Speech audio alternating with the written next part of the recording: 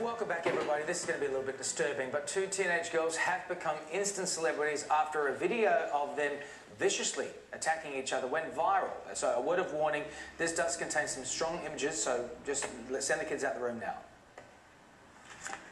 Oh, Oh my god.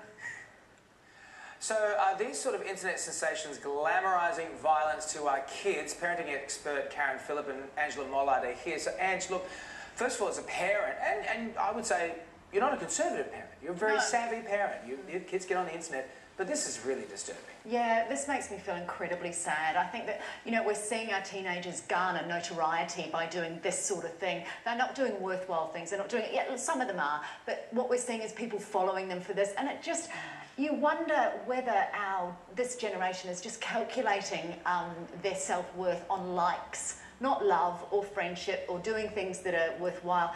This is what they want. They want that sort of attention. And that makes me, you know, I'm really despondent As you can see in this footage here, I mean, here they are continuing this fight with Karen, which is quite disturbing. It's an internet sensation.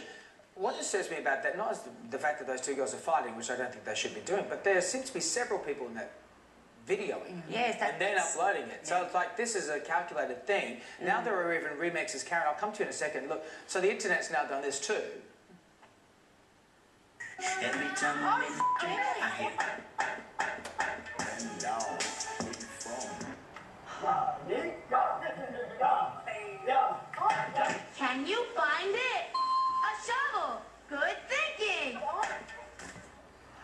Internet notoriously has a very strange sense of humour. Sometimes it works, sometimes it doesn't. But li- relieving the mixes out of this, are we glamorising violence for teens and especially young women? I think we are. We certainly seem to be. There's there's a lot. Look, our children are subjected to violence in the news. They're subjected to violence on uh, video games. They're subjected to violence on YouTube. They're subjected to it everywhere, unfortunately.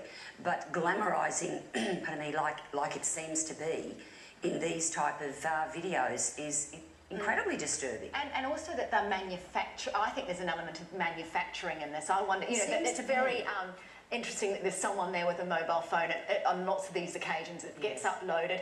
It's the instant track to fame. You don't have to do anything worthwhile. I, I think that's the worrying thing. Yeah, and, and what disturbs me, and it's not the fact that it's in media and that media is you know always brought into this, but the fact that this is a new form of media. YouTube is a free media, and we can't, you know, we can police our kids on video games. We can police mm-hmm. what they watch if they're in the room with us. But if they're just there on their phones, on their smartphones, on their tablets, this is highly accessible. Is YouTube somehow responsible to try and police this even stronger? Yes, they certainly are. And YouTube have very clear terms and, Facebook, I conditions. should say too, because I know this Yeah, goes for, around. yeah, there. yeah, for sure. And, and I think we've, there's been discussion in regards to Facebook and what they're responsible for.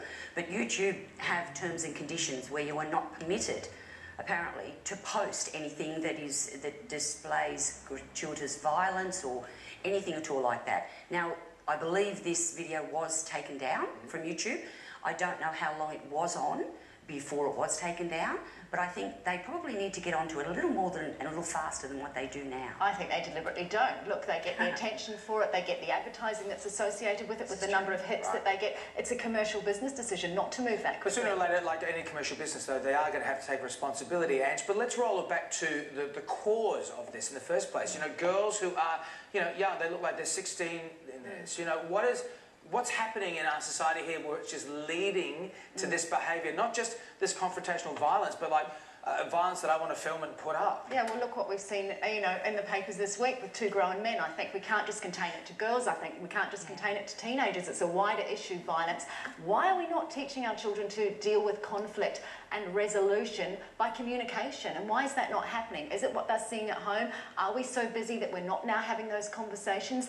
You know, I, I spend a lot of time with my daughters, they're 13 and 10, showing them worthwhile things on, on and so Upworthy, you know, the site Yeah, I Upworthy, love Upworthy. brilliant site. It shows people doing wonderful things. I try to counter it to show them good stuff because I know they're seeing this. And we also have discussions where once a week they have to show me something that's alarmed them. Yeah, and Karen, it is, sorry to interrupt you, but it is a thing like, and we do have to go, but parenting seems to have changed. Well, I mean, it do we need to be changed to a stronger, degree. a- and do we need to Yes. maybe educate parents more in this Yes, new world? Absolutely, we do. We really do. It comes from home. Even though they're 16, they do need us to take on some sort of self responsibility. It is learnt from home, it is learnt from parents. If parents are failing to teach their children that, how are they going to learn? How are they going to learn control over themselves and their behaviours? Absolutely. Ladies, thank you so much for today. We want to know what you think at home. You've already gone to our Facebook. You've been very passionate. Continue to do so. But has the internet desensitised our kids? Sonia?